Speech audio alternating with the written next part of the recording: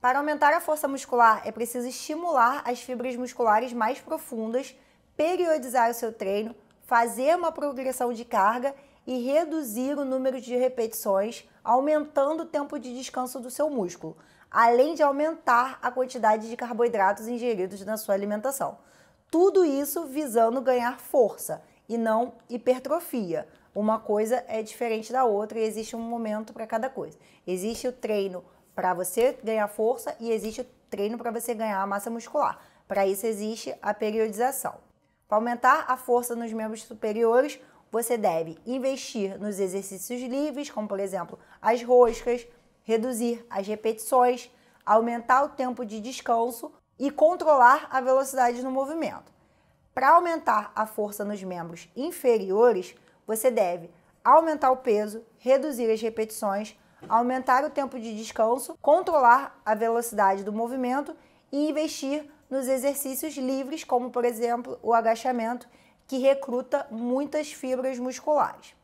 Para aumentar a força nas costas, você deve investir nos exercícios livres, como por exemplo a barra fixa, aumentar as cargas, reduzir as repetições, aumentar o seu tempo de descanso e controlar a velocidade do movimento.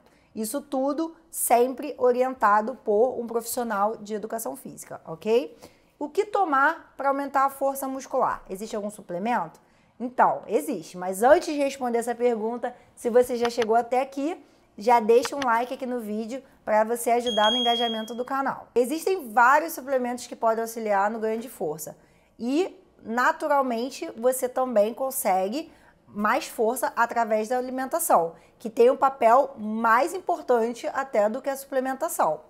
Para você conseguir ativar mais fibras musculares, você tem que investir principalmente nos carboidratos. Se você não come carboidrato, você não tem força muscular. Então a consequência é que você fique flácido. Suplementos como creatina e betalanina são os melhores para ajudar a aumentar as cargas.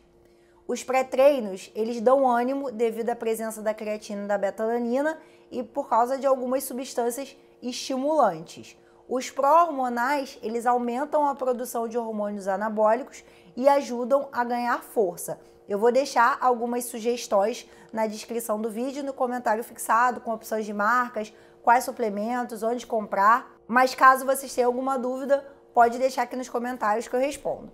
Pessoal, espero que vocês tenham gostado do vídeo. É muito importante que você deixe um like, ative o sininho para receber as notificações e até o próximo vídeo.